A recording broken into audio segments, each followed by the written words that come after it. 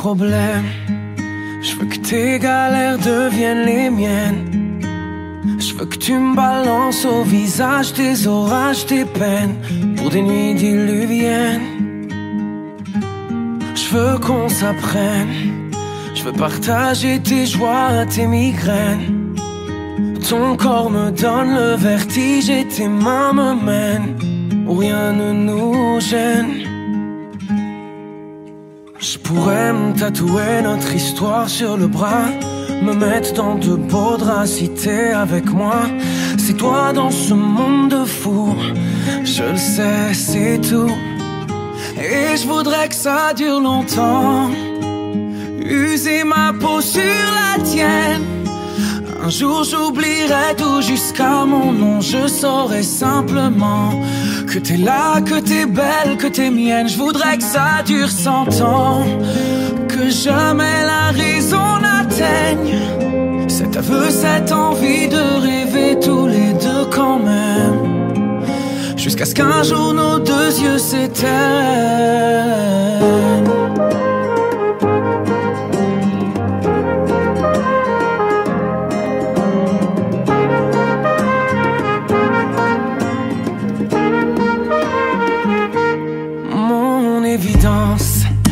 T'es mon sourire et ma carte chance. Je veux qu'on déconne, qu'on décolle, qu'on délire, qu'on danse jusqu'au dernier silence. J'irai dans la rue si t'as besoin d'un toit. Je pourrais vivre nu pour que t'aies un peu moins froid. C'est toi dans ce monde de fous. Je le sais, c'est tout. Et je voudrais que ça dure longtemps. Ma peau sur la tienne.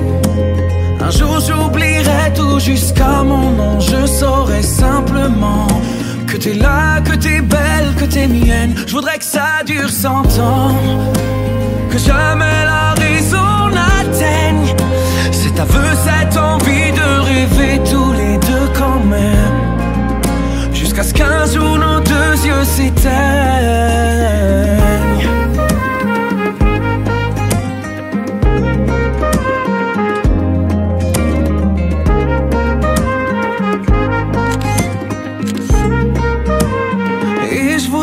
Ça dure longtemps.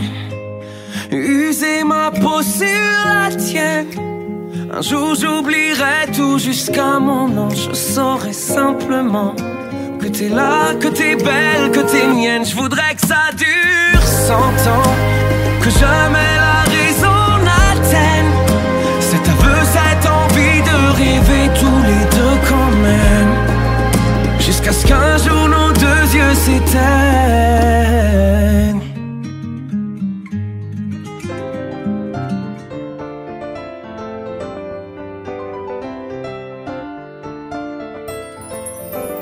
Why do you look at me this way, oh daddy? Oh daddy. What is it that you wanna say, oh shitty? Oh shitty. Yeah. God put you my way, and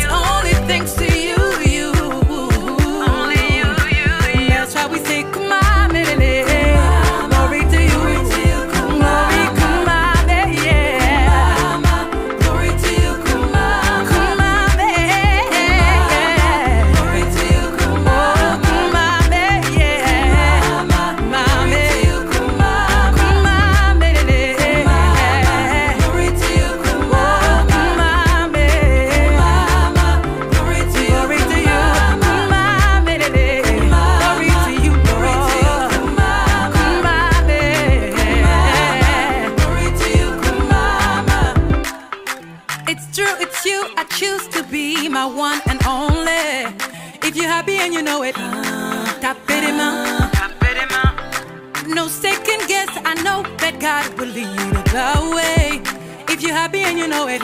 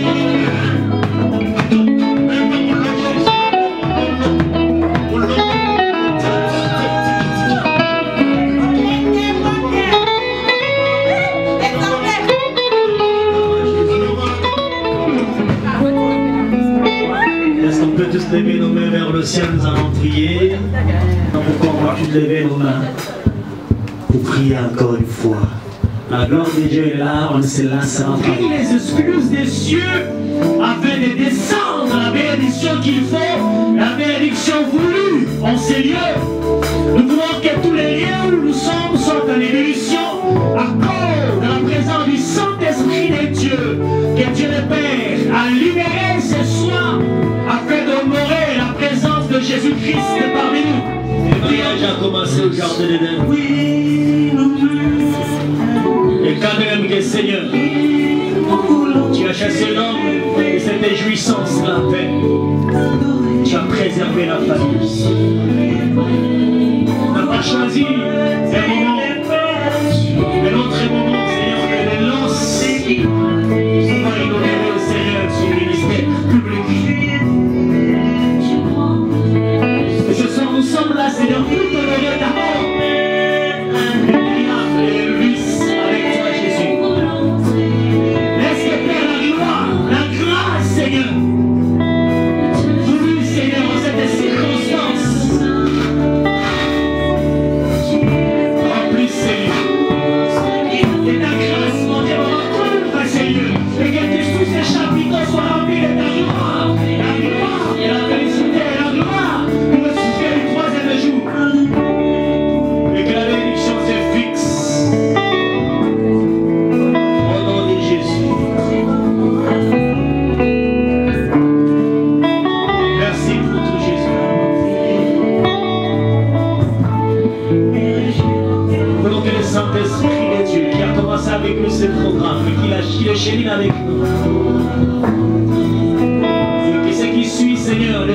lâcher aucune nullité, aucune faille, Seigneur. Et l'instrument utile, Seigneur, que tu t'es choisi cet après-midi pour segmenter notre foi. Partout, Seigneur, là où les hommes ont voulu, oh, ont eu soif, tu as envoyé un homme, Seigneur, pour parler aux hommes. Le moment voulu, toi, tu as envoyé ton Fils unique qui était Dieu de toute éternité a porté, Seigneur, la chair humaine afin de pouvoir s'exprimer devant les hommes. Sanctifiez, Papa, ces moments. Et sanctifie ton esprit. Que la parole ne soit pas seulement pour Elvis et pour Myriam, aussi pour l'assistance réunie dans ces cadres. Au nom de Jésus-Christ de Nazareth. Nous soumettons toutes choses à l'obéissance de Christ. Que tout ce qui n'est pas de toi prenne la poudre des scampettes. Que la présence du Saint-Esprit t'honore et sanctifie ces lieux. Au nom de Jésus-Christ, notre Dieu. Amen. Et les lecteurs de la Bible comprennent déjà là où je suis. 1 Corinthiens chapitre 13, verset 4 et suivant. La Bible dit, l'amour est passion, il est plein de bonté. L'amour n'est point envieux. L'amour ne se vante point. Il ne s'enfle point d'orgueil. Il ne fait rien de malhonnête.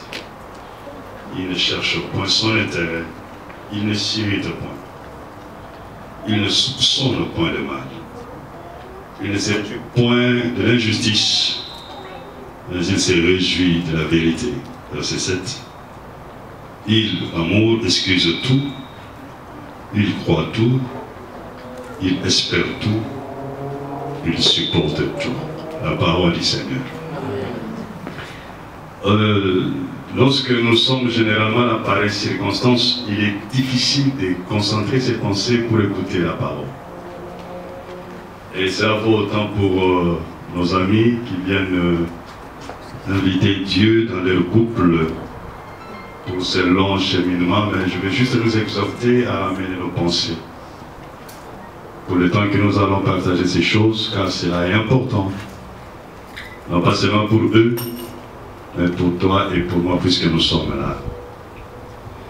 Euh, en lisant ces passages, nous ne voyons pas un mot compliqué qui nous pousserait à expliquer, à expliquer des choses. Et on dirait même qu'on aurait pu fermer la Bible et chacun aurait compris quelle est la pensée derrière, tant pour nous que pour Elvis et pour Myriam. Il est important pour toi et pour moi de savoir c'est quoi le concept du mariage. Le mariage est la création de Dieu. Et j'ai envie de dire que le mariage, à part, euh, disons, après l'homme, et à part le salut, le mariage, je me dis qu'il est l'une des choses la plus merveilleuses que Dieu a créées. Alléluia. Je dis Alléluia. Tout ce que Dieu fait, puisque nous sommes d'accord que tout ce que Dieu fait est bon, donc nous serons aussi d'accord de reconnaître que la pensée de Dieu de créer le mariage était une bonne pensée. Et cette bonne pensée demeure jusqu'à aujourd'hui. Ce ne sont pas les circonstances, ce n'est pas ce que nous voyons, ce n'est pas les rythmes de la vie qui feront changer cette vérité selon laquelle, oui, Dieu a créé le mariage bon. Le mariage n'était pas à la pensée là-dedans. Et même à ce moment-là, elle n'était pas encore là. C'est Dieu qui a dit, il n'est pas bon que l'homme soit seul. Donc le contraire, nous dirons, il est bon que l'homme soit, avec la soit composé quelque part. Sois marié. Il est bon que l'homme soit marié. S'il n'est pas bon que l'homme soit seul, donc la logique du contraire voudrait que oui, cette personne qui n'est pas seule, je me dis juste après, il fallait qu'elle apparaisse. Ah mais non, il met une pause. Et la Bible dit, Dieu voulait voir comment Adam nommerait ces animaux qu'il était en train de faire passer devant lui. Quelque part, je me dis, c'est comme si Dieu voulait que Adam atteigne une certaine maturité avant de lui donner cette responsabilité. Alléluia. Et lorsque Adam a fini, la Bible dit, il ne vit point pour l'endormir et de sa côte en faire une jolie créature. Dieu a su et Dieu a compris que le temps qu'il a préparé, qu'il a pris pour préparer Adam, était suffisant pour que Adam soit en mesure d'assumer les défis qui l'attendaient. Et si Dieu a pris soin de préparer cette chose de cette manière-là, c'est que c'est Dieu qui a créé le mariage. En même temps, il accorde beaucoup de sérieux que je voudrais ramener nos pensées. C'est ce sérieux-là de ramener la pensée d'Elvis et de ramener la pensée de notre sœur Myriam. Vous savez, nous pouvons beau dire autour du mariage. Nous pouvons beau dire des choses, nous pouvons donner des explications, nous pouvons donner des expériences, nous pouvons donner tous les conseils possibles. Mais il y a un, et un seul, qui a traversé les siècles et qui demeurera, même lorsque le temps passera, c'est l'amour. Alléluia. Nous pouvons dire, comme Jean, le mariage sera bon, faites ceci, le mariage sera agréable. C'est bien ce conseil-là. Mais moi, je vais nous dire ce soir que ces choses-là ne peuvent trouver un sens, sinon ne peuvent trouver leur sens que lorsque le conjoint vivent dans l'amour. Il n'y a rien qui puisse unir un homme et une femme si ce n'est l'amour. Et cet amour-là, ce n'est pas ces, mots génériques que nous, utilisons. Cet amour qui consiste pour l'homme à s'offrir à la femme et qui consiste pour la femme à s'offrir à l'homme. Parce que si je ne me donne pas, la vérité soit ce que lui a compris. La Bible nous dit dans le passage que nous avons lu que l'amour est patient et on donne beaucoup, beaucoup, beaucoup de qualificatifs, d'adjectifs, beaucoup d'explications au, au, sens de l'amour, à ce que l'amour est capable de faire. Et vous savez, ce cantique de l'amour, ça ne concerne pas seulement les mariés, mais ça concerne chacun d'entre nous. Alléluia. Je dis Alléluia. Si j'ai cette recommandation de donner à l'autre de mon amour, à plus forte raison, dans le mariage, je ne donnerai pas de cet amour-là à l'autre.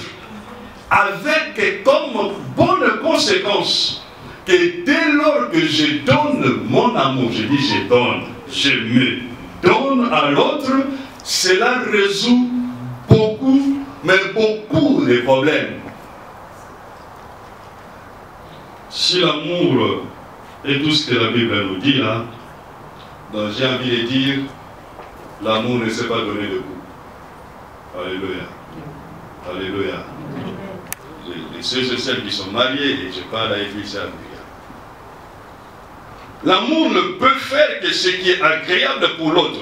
L'amour ne peut faire que ce qui est bien pour l'autre. En d'autres termes, l'amour ne peut que rechercher le bien-être de l'autre. Et ça, c'est une, vérité que euh, dans le mariage, à force de vivre ensemble, on oublie certaines choses. J'ai ces choses en enseignement. Je leur ai dit, dans le mariage, il faut, il faut s'interdire et interdire à son cœur qu'un jour ton mari ou ta femme devienne normal. Ton mari ou ta femme ne peut pas devenir une personne normale. Tout le monde peut devenir normal. Jamais ton conjoint. Pourquoi? Parce que la personne avec laquelle vous partagez la vie et c'est le restant de votre vie ne peut pas devenir normal parce que lorsque la personne devient normale, c'est les choses aussi normales de l'extérieur qui s'invitent dans le couple. Or, le couple doit rester quelque chose d'exceptionnel. Alléluia. Le couple doit rester quelque chose d'exceptionnel. Il doit rester quelque chose de particulier. Parce que déjà, par celui qui l'a créé, il le trouve exceptionnel.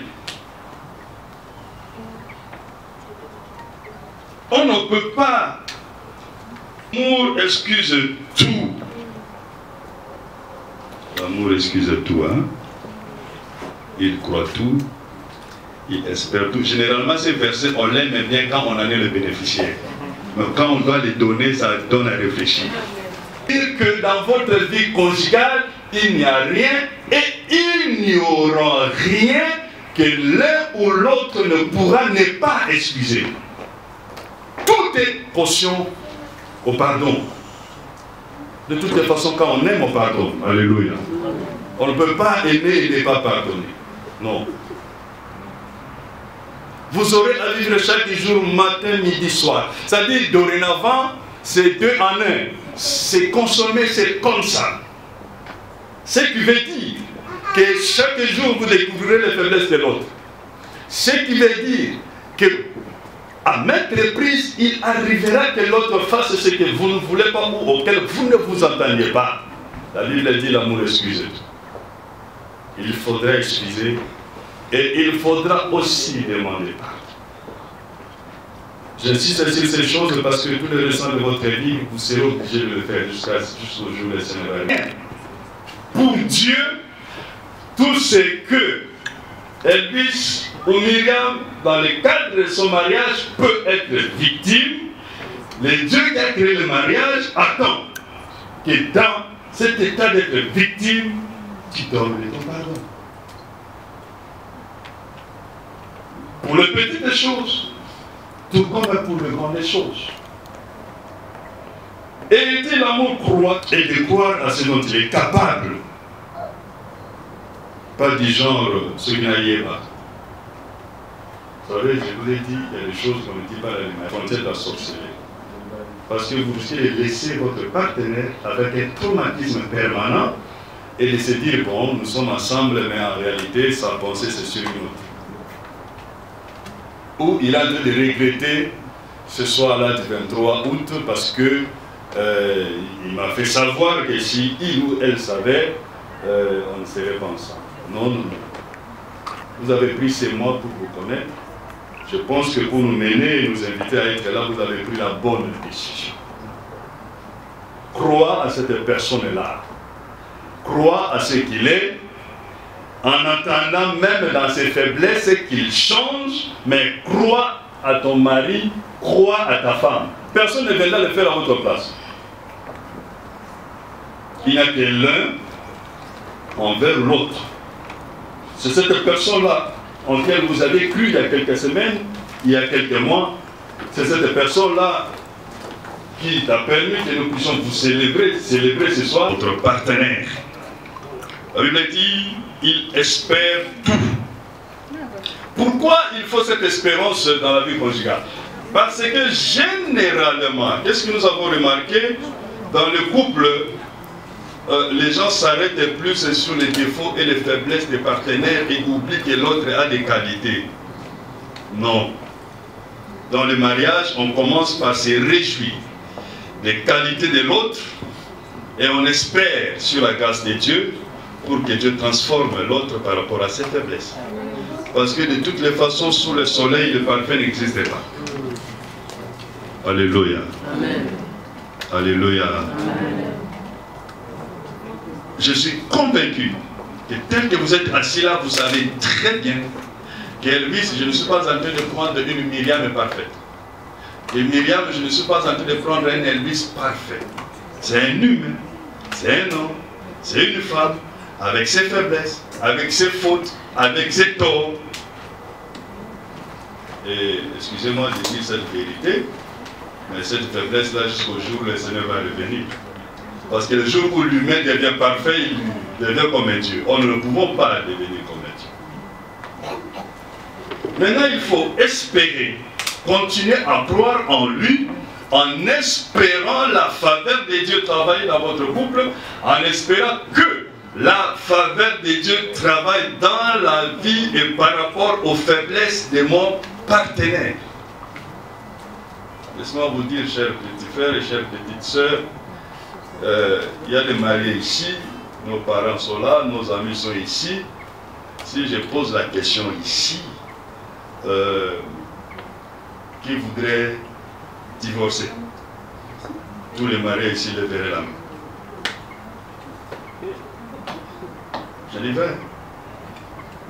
Il continue. Tout simplement. Qu'est-ce qui empêchera que cette volonté-là, chez vous, n'arrive pas Il faut qu'elle arrive, cette volonté. Vous traverserez des situations. Vous traverserez des situations, des circonstances. D'accord. Mais il faut, comme je vous l'ai dit durant tout le temps que nous avons passé ensemble, cette volonté pour soutenir l'amour. Vous avez euh, plein de questions? Je disais, je n'ai pas de famille à Metz. Comment je vais faire? Euh, Dieu a disposé toutes choses et il a mis sur, il a mis sur mon chemin Elvis, qui s'est marié ici. Et je ne pense pas que ces jours allaient arriver euh, d'ici peu parce que je les connais très très bien. Mais Dieu, par sa miséricorde, il savait qu'il allait trouver une femme, par le miracle, une femme merveilleuse pour, lui.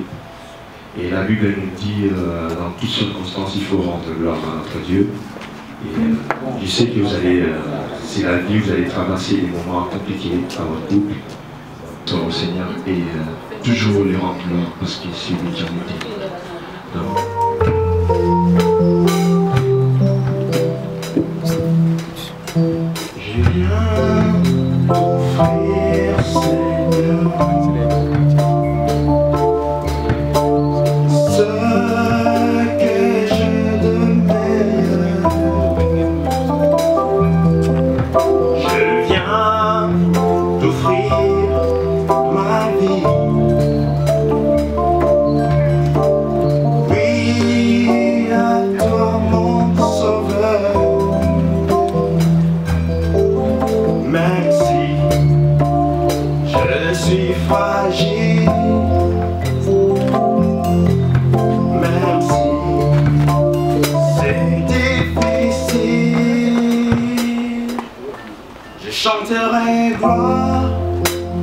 All it down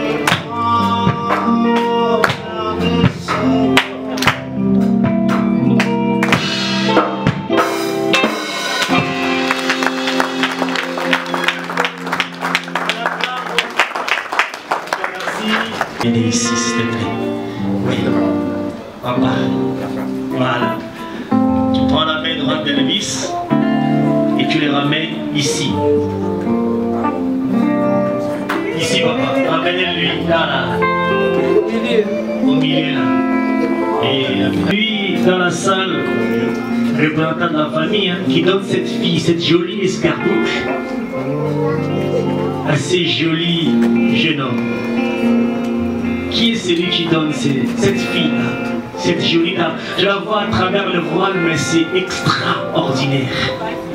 Extraordinaire. Ok. Vous allez prendre la main droite de votre fille et vous la ramenez ici. Et vous allez rester vraiment à côté.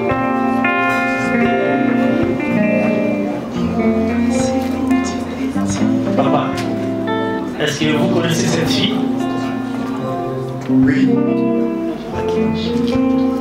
Et vous, papa, est-ce que vous connaissez ces garçons? Oui. J'aimerais que papa, vous regardiez l'église, hein. Qualité dans la famille des Myriam, parce que vous avez reconnu ces garçons. Papa aussi a reconnu la fille.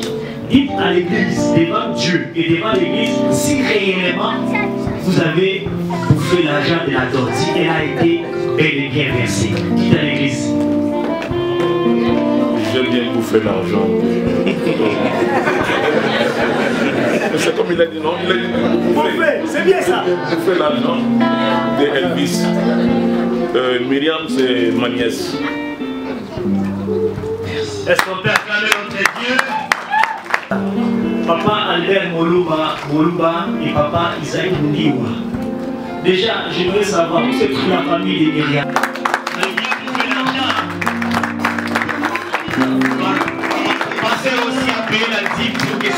Qui après Myriam là aussi, que mon Dieu.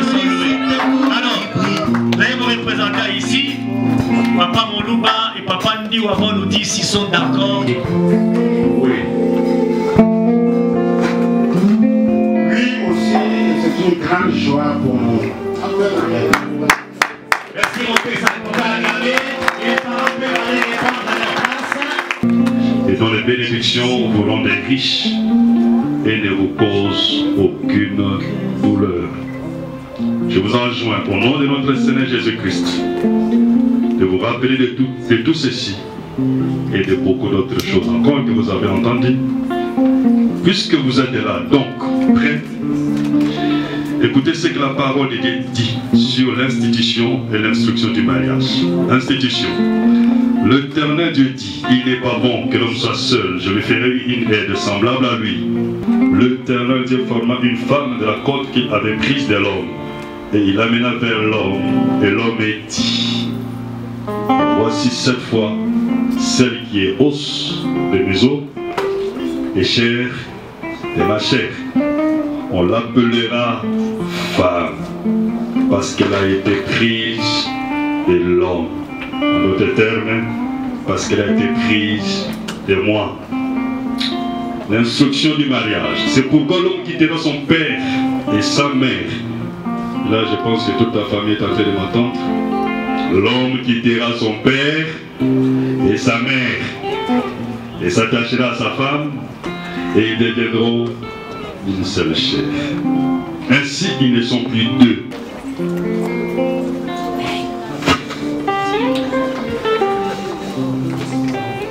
Mon frère Elvis Gobozabous, veux-tu prendre Myriam Opénémon, ici présente pour épouse, et vivre avec elle, selon l'ordonnance de Dieu, dans le saint état du mariage, et veux-tu l'aimer, la chérir, l'honorer, la protéger à tout moment et rester attaché à elle seule. Tant que vous vivrez tous les deux Si tel est le cas, je réponds oui, je le veux à haute voix.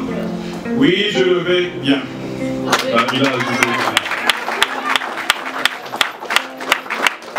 C'est l'ordonnance de Dieu dans le saint état du mariage. Veux-tu obéir, lui obéir, le servir, l'aimer, l'honorer et le garder à tout moment rester attaché à lui seul. Que vous vivrez tous les deux, si tel est le cas, à haute voix, et je pense que ça va dépasser Elvis, tu diras oui, je le veux. Ah, je pas entendu. Ah, beaucoup. Prends aujourd'hui comme ma femme.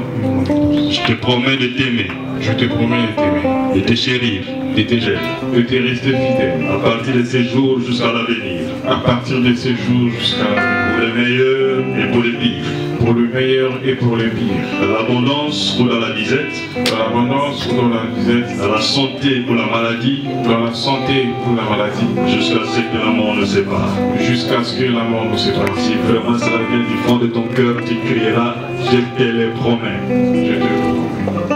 Ah, comment tu as laissé le voir Je te le promets.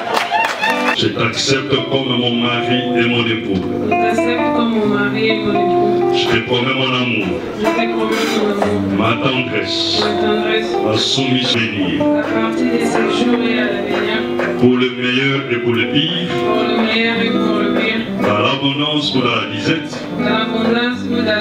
dans la santé ou la maladie, jusqu'à ce que la mort nous sépare.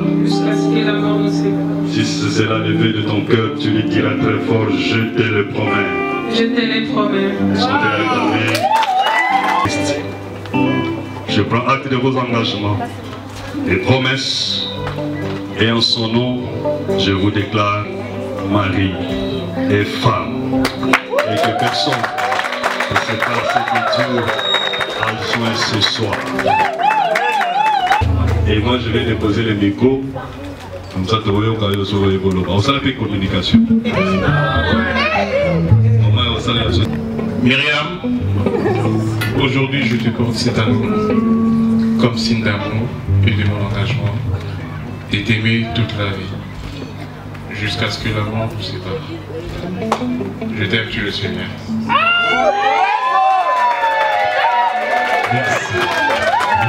Acclamons, acclamons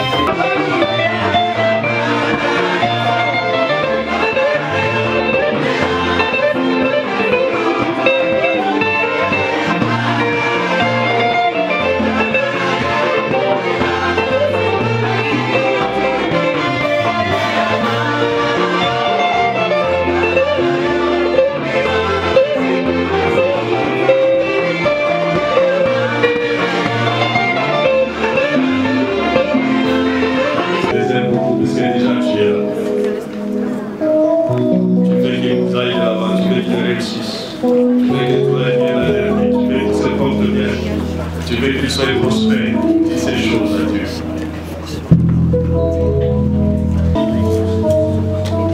Il y a longtemps, aujourd'hui tout est impossible. Nous voulons que dans toute la suite des choses, dans leur cheminement, et de soit nous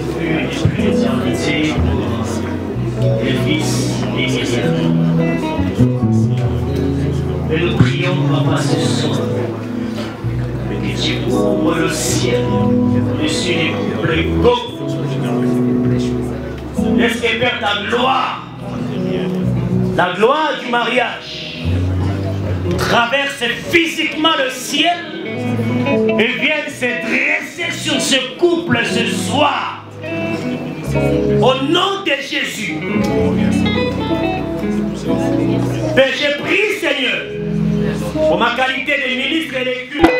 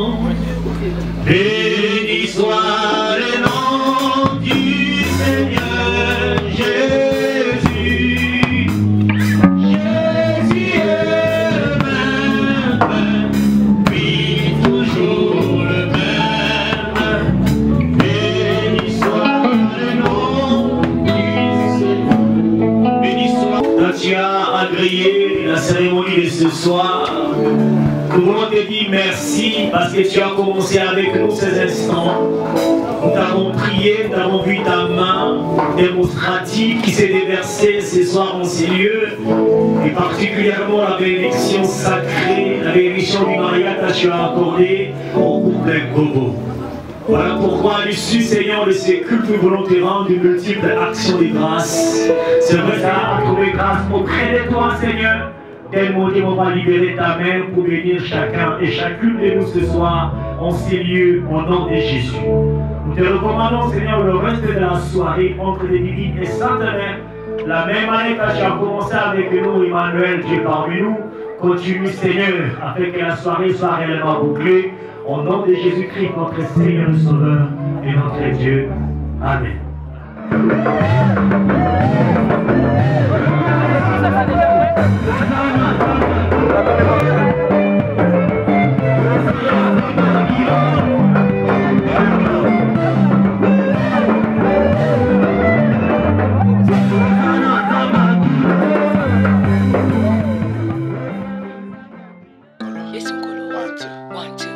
Esunkolo, Esunkolo, one two, one two, one two, one two, Esunkolo, Esunkolo, one two, one two, Esunkolo, Esunkolo. Isn't amazing?